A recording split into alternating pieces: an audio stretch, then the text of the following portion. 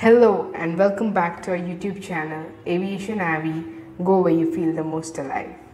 You and I are aware that aeroplane make no money when it is on ground. Thus airlines strive hard to reduce the time for which the aircraft is on ground to minimum and thus reduce their turnaround time. To know what turnaround time is, please be along with us and let's get started.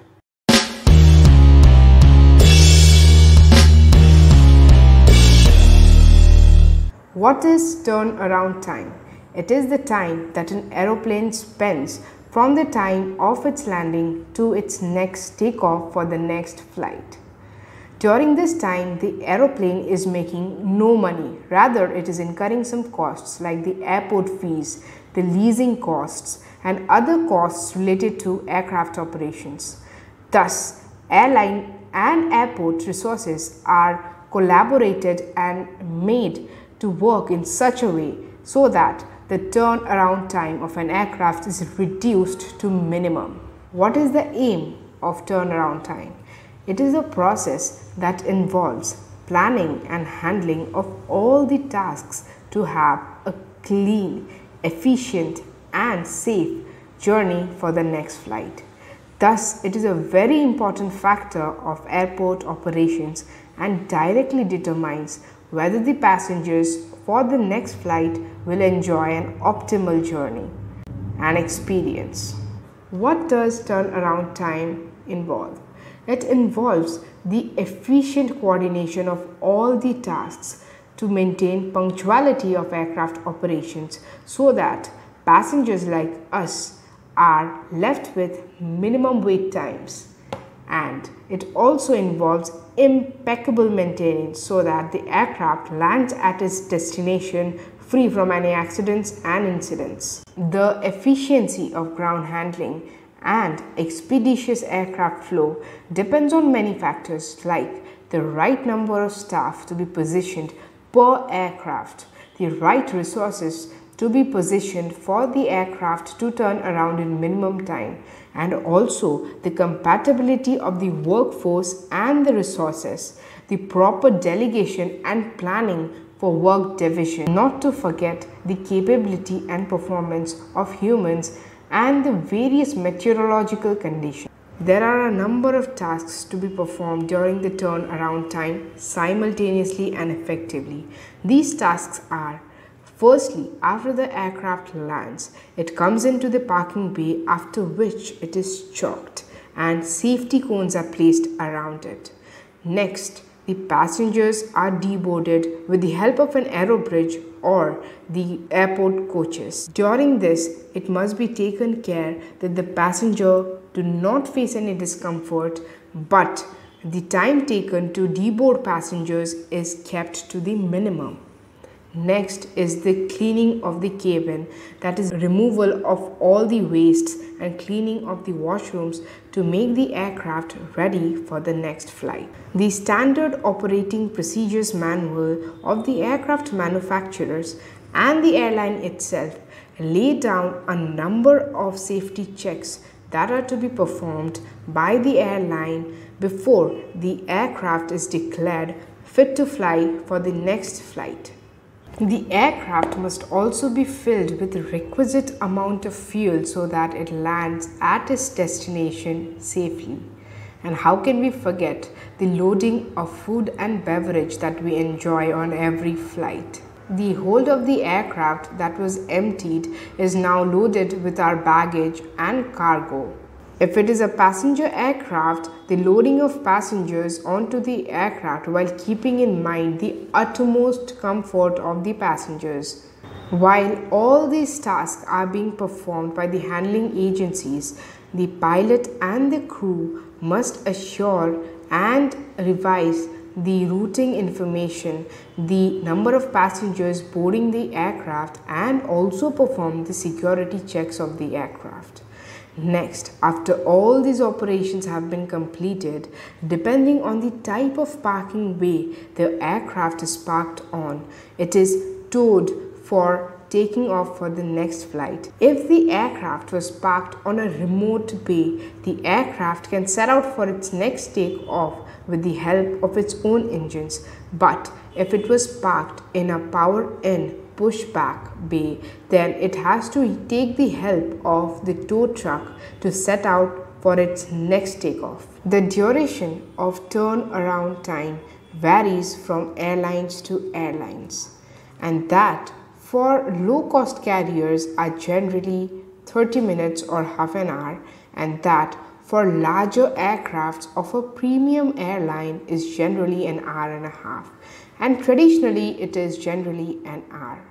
The effective turnaround management helps in coordinating the response of all the ground handling agencies and effectively reducing the turnaround time or the ground time of an aircraft.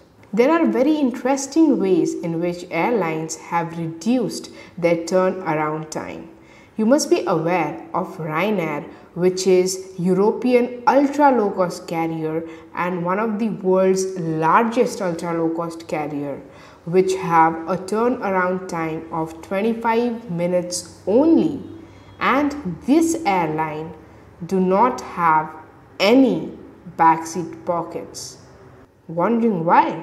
In the year 2004, when the airline removed backseat pockets from its aircrafts, it saw a tremendous and significant reduction in its turnaround time because it takes a lot of time to clear and clean the aircraft with so many seats and each seat having large backseat pockets. Technology has proven to be very useful in reducing turnaround times. Well integrated and technology driven ground handling processes help to create an overview of all the actions that are taking place around the aerodrome, thus help to minimize turnaround related delays. A well scheduled and well planned course of action for the crew help them to perform all of their tasks in an orderly fashion so as to reduce the turnaround time and help in gaining valuable seconds. Technology has helped significantly to reduce turnaround time, but not always. Passenger boarding bridge, the retraction and extension of which takes a lot of time as compared to that of the passenger buses. We, as the passengers, take the maximum part of the turnaround time because we need to embark and disembark the aircraft in which the airlines guide us to maintain balance of the aircraft. Using both the doors of an aircraft helps to reduce the turnaround time of an aircraft significantly. This concept of two door efficiency is also a reason why many low cost carriers go for passenger buses rather than passenger boarding bridges or the sky bridges. Boarding segmentation is also an important strategy applied by airlines to reduce their turnaround time. In this, the airline split the passengers based on zones and then allowed them to board. This strategy is generally used by airlines with wide body aircrafts like the Boeing 747 and the Airbus 380. However, such techniques may not be much useful for airlines having aircrafts that of Airbus A320. According to Boeing, ever since 1970s, the time that passengers take to board an aircraft has slowed down to over 50% to as low as 9 passengers per minute and this is mainly because of the increasing amount of carry-on luggage brought in by the passengers. A solution may be to segment the passengers not only by zones but also by rows, thus allowing the passengers seated closer to the window to board first, followed by the ones in the middle seats and then the ones present near the aisle.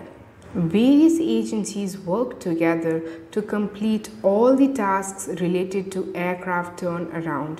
These tasks generally are dependent on one another and are sequenced. For example, boarding of the aircraft cannot start before cleaning is over. Boarding cannot start before the crew arrives. The loading of duty free onto an aircraft cannot start before the crew arrives onto the aircraft, and the fueling operations cannot start before the disembarkation of all the passengers of an aircraft. Now, if the crew arrives late, the loading of duty free will be late. If the loading of duty free is late, boarding will be late. Thus, seating will be late and thus the aircraft will leave its gate late. Thus, the turnaround time will be increased. Thus, this chain of reaction leads to the increase in turnaround time. Well, aviation is full of surprises and everything does not go as planned. Suppose there is a late arrival of aircraft, it will lead to reactionary delays and efficient ground handling is one way to deal with it.